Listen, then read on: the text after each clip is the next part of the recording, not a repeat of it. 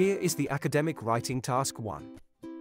The graph shows the percentage of male and female academic staff members across the faculties of a major university in 2012. Summarize the information by selecting and reporting the main features and make comparisons where relevant. You should write at least 150 words. Pause the video and make your own points before going further. Hello and welcome to IELTSclassesonline.com. We offer personalized, one-on-one classes online. Here is the introduction and overview.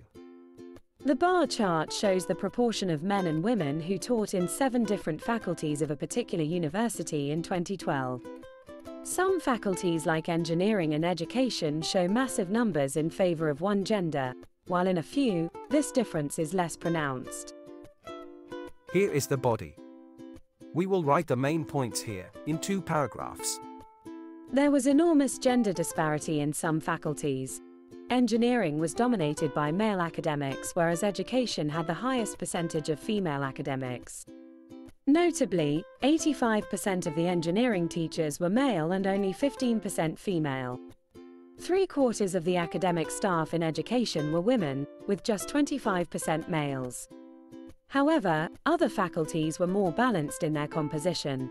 In medicine, gender representation was almost equal.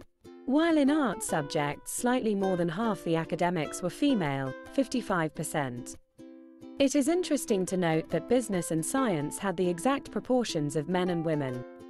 With 65% male to 35% female academics in those faculties. Law had a slightly higher percentage of women at 40%. And finally, the conclusion. Although the faculties of engineering, business, science, and law were primarily male dominated in 2012, women made up half the faculty of medicine and were predominant in education and arts.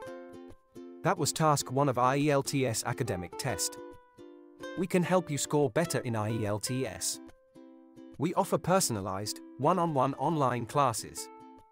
Write to us at contact at ieltsclassesonline.com and let us know how can we help you.